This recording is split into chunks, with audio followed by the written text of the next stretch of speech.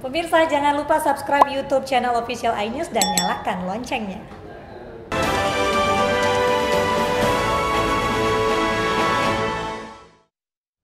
Pemirsa di informasi pertama, Densus 88 menyita 500 kotak amal dari sebuah gudang di Deli Serdang, Sumatera Utara. Diduga kotak-kotak amal tersebut disiapkan untuk disebar ke sejumlah tempat umum untuk mendanai terorisme.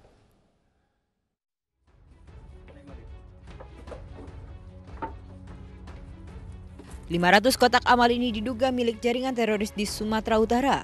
Tersimpan rapi di sebuah gedung di Desa Manunggal Deli Serdang, ratusan kotak amal menjadi modus para teroris untuk mendapatkan dana dari sumbangan masyarakat dengan kedok infak. Dari hasil penyidikan, kotak amal ini telah disimpan sejak dua tahun lalu yang dioperasikan seorang pria beserta istri dan empat anaknya. Namun pengelola gudang tak ada di tempat saat penggerbekan dan kini dalam pengejaran. Diakini sebagian kotak amal yang mengatasnamakan Yayasan Amal Islam Ibnu Jauzi ini tersebar di sejumlah tempat. Pengembangan dari rangkaian kegiatan operasi yang dilakukan oleh teman-teman Densus 88 Anti Teror Mabes Polri di wilayah Sumatera Utara. Sore hari ini Densus 88 kembali mengamankan ratusan kotak amal sama seperti yang sudah diamankan di uh, wilayah Tanjung Balai. Ada kurang lebih 31 dan di sini teman-teman lihat ada sekitar uh, eh, 500 lebih, kurang lebih 500 uh, eh, kotak amal yang diamankan. Kemudian ada juga uh, brosur dan buku-buku serta pakaian-pakaian yang uh, digunakan oleh terduga-terduga teroris yang sudah kita amankan. Modus pendanaan kegiatan terorisme dengan menggunakan kotak amal terus digali. Sebelumnya Densus 88 telah mengamankan puluhan kotak amal di Tanjung Balai dan menangkap 18 teroris di sejumlah titik.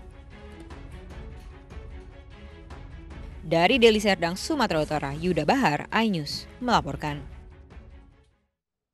Seekor ular sanca sepanjang 4 meter ditemukan warga di sungai dekat pemukiman penduduk di kota Pasuruan, Jawa Timur. Dua orang warga sempat terkena gigitan saat menangkap ular tersebut.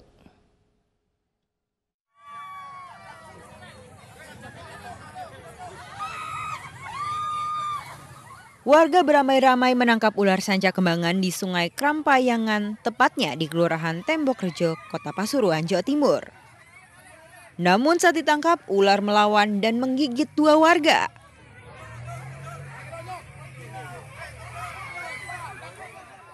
Menurut warga, keberadaan ular sudah diketahui sejak sepekan terakhir, tetapi sering menghilang dan tidak ada warga yang berani menangkapnya. Tadi ada ular, ada ular, akhirnya kumpul. Banyak orang yang ingin pegang ya. Terutama ponanku Yunus ini yang kena gigit tadi sama itu emas tuh yang enak. Ya sementara ini dirawat mas, kalau ada yang mau beli ya silahkan dibeli. Dipelihara ya? Dipelihara dulu berarti Pak? Dipelihara dulu. Hmm. Ular piton sepanjang 4 meter ini sekarang dipelihara warga agar tidak membahayakan lagi.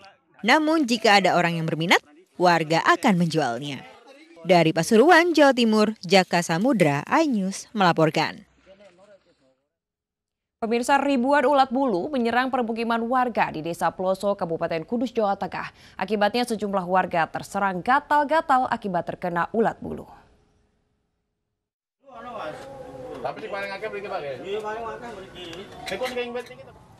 Warga Desa Ploso, Kabupaten Kudus, Jawa Tengah resah akibat didatangi ribuan ulat bulu.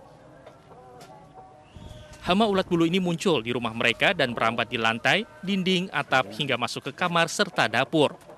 Sejumlah warga mengaku resah dan terserang penyakit gatal-gatal. Kalau masuk rumah, masuk warung itu juga, ini ularnya banyak sekali om. Sudah dua hari om. Geli sih, jijik enggak om. Itu gatal-gatal lah.